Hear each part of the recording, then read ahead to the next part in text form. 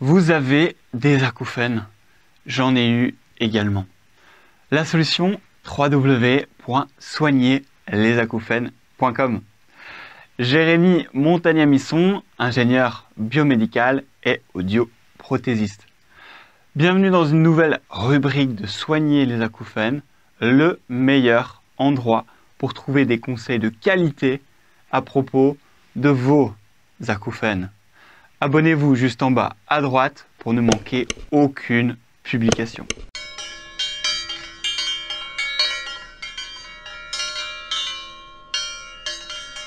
Vous avez sans doute déjà entendu parler d'acouphènes somato-sensoriels.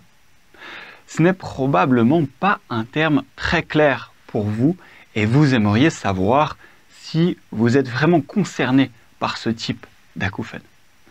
Alors, qu'est-ce que signifie exactement d'avoir des acouphènes somatosensoriels? Comment savoir si vos acouphènes sont somatosensoriels?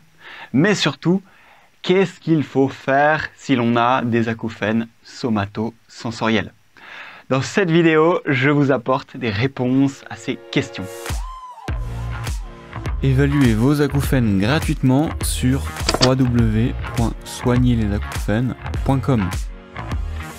Pour comprendre simplement ce que sont les acouphènes somatosensoriels, revenons à la définition du système somatosensoriel. Le système somatosensoriel est une partie du système nerveux. C'est un réseau complexe de capteurs et de neurones qui réagissent aux changements qui ont lieu à la surface ou à l'intérieur du corps le système somatosensoriel détecte et permet les perceptions suivantes. La douleur, la température, la position de la tête et du corps, appelée proprioception, les mouvements de la tête et du corps, appelés kinesthésie, ou encore le toucher. L'acouphène somatosensoriel est un type d'acouphène généralement reconnu qui est associé avec l'activation du système somato-sensoriel, somato-moteur ou visuel-moteur. Pour faire simple, c'est-à-dire que ce sont des acouphènes qui peuvent être provoqués ou modulés par des contacts ou des mouvements physiques. Ces modulations des acouphènes signifient des modifications du volume, plus faible ou plus élevé, ou de la hauteur, plus grave ou plus aiguë des acouphènes.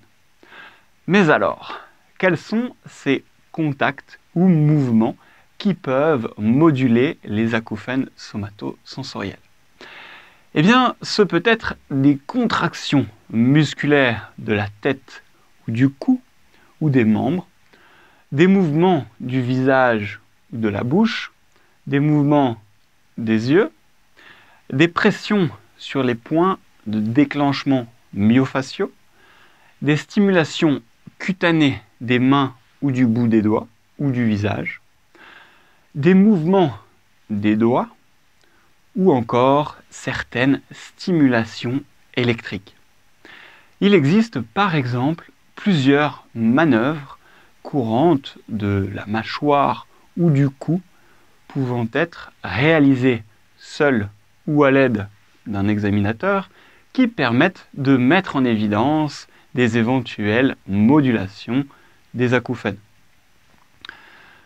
Quand la cause des acouphènes est liée à des problèmes musculo-squelettiques, plutôt que des problèmes au niveau de l'oreille, on dit que ce sont des acouphènes somatosensoriels.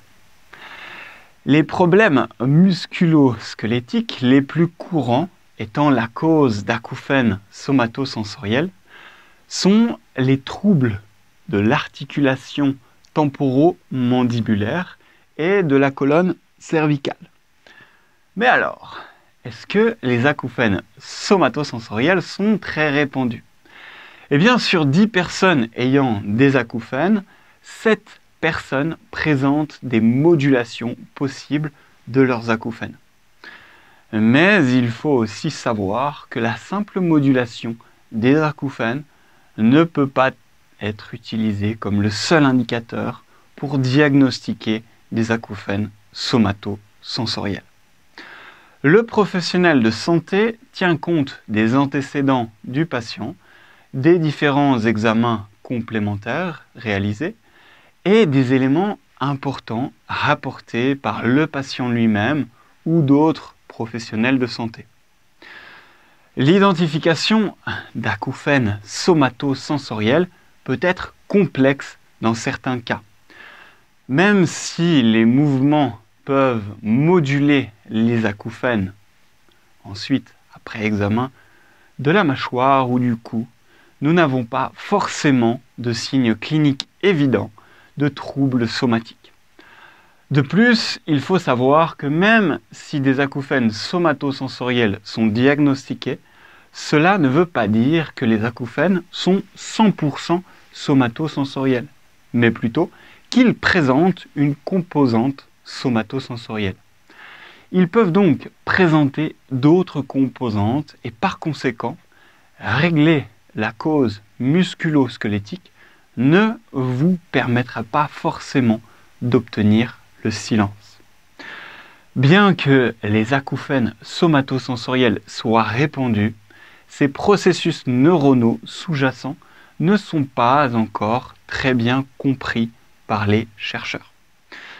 Alors maintenant, que faire si vous avez des acouphènes diagnostiqués comme somatosensoriels? Eh bien, vous pourriez trouver des bénéfices en réglant les problèmes musculo-squelettiques identifiés. Il est donc conseillé de bénéficier d'une investigation multidisciplinaire plus poussée et de demander la coopération de spécialistes comme les dentistes, les occlusodontistes, les ostéopathes, les physiothérapeutes ou encore les orthopédistes, par exemple. J'aimerais ajouter finalement que si 70% des acouphènes peuvent être modulés par ces différents types de stimuli vus précédemment, les effets de la stimulation bimodale, auditive, somatosensorielle apparaissent donc comme prometteurs, mais ont besoin d'être confirmés dans des études plus importantes. Des espoirs sont donc bien réels concernant les équipements que nous avons déjà présentés sur cette chaîne, comme le Lenir, le Neosensory Duo ou encore l'appareil Michigan. Si vous avez des acouphènes, sachez que des solutions existent et permettent d'avoir les bénéfices que vous cherchez. N'attendez plus, elles sont disponibles dès maintenant. Rendez-vous sur www.soignerlesacouphènes.com. Si vous avez aimé cette vidéo, mettez un pouce bleu juste en bas à gauche et n'hésitez pas à la partager. Votre expérience et votre point de vue m'intéressent. Vos acouphènes ont-ils été diagnostiqués comme étant somato-sensoriels? Si oui, quelles sont les choses qui vous permettent d'aller mieux? Vos acouphènes ont-ils disparu grâce à ça? Écrivez tout ça en commentaire